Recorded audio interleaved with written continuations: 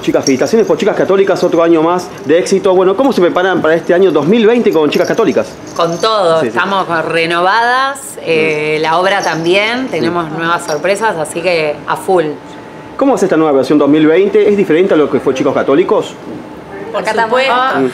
gracias al cielo es diferente. Sí, sí, sí. Por, lo- por empezar, nuestra, nuestro espectáculo no se basa en decir malas palabras constantemente como gracia particular, así que ya con eso estamos diferenciadas de ese espectáculo. ¿Es mejor una obra sin malas palabras, piensan ustedes? Porque hay obras que tienen éxito y por ahí tienen un poquito de malas palabras. como- hay muchas, como Tok Tok tiene un poquito de malas Depende de palabras. la obra, Sí. cómo esté llevada, quién lo haga.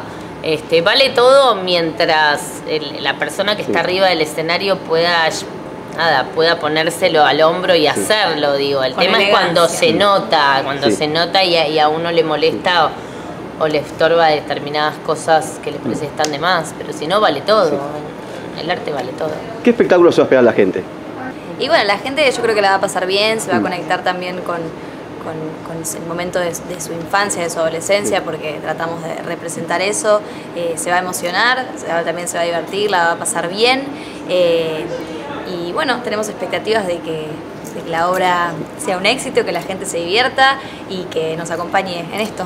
Bueno, ¿cómo se llevan con los personajes? Un poquito cada una que nos cuenten los personajes. Bueno, el mío es Ana, que es eh, una nena que tiene un vínculo muy fuerte con su abuela y con Jesús. Ella piensa que habla con Jesús y quiere saber a toda costa si es judío o no.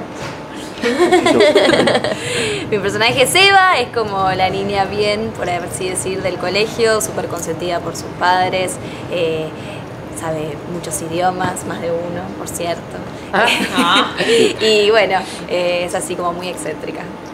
Bueno, mi personaje es María Teresa, es, eh, viene de una familia de muchos hermanos y es como la nena descuidada del colegio, ¿no? La que no la peinan, que siempre le lleva la ropa rota y que tiene algunos problemas en la casa, pero bueno, eso.